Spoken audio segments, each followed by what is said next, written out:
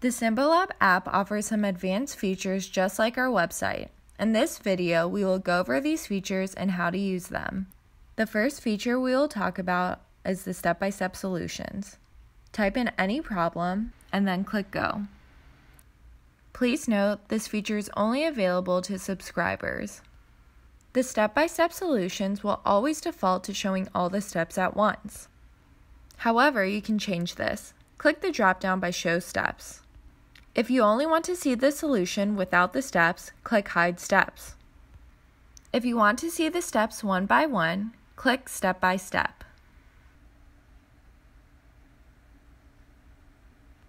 If you want to see all the steps at once again, click Show Steps. Another feature available is the Verify box. Under where it says Got a different answer, check if it's correct. For some problems, there is more than one solution. Use this box if your answer differs from Symbolab's. Just type in your solution,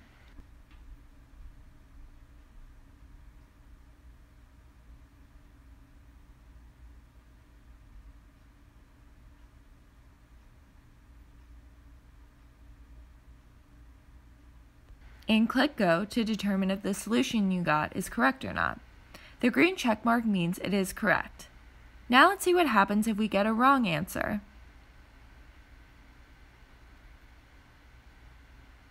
A red X will appear in this case.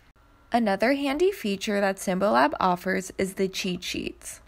To find the cheat sheets, click the cheat sheet icon located next to the notebook icon. Here you'll find helpful identities, formulas, and rules. In order to find the cheat sheet you are looking for, click the drop down list at the top and select the topic you are interested in.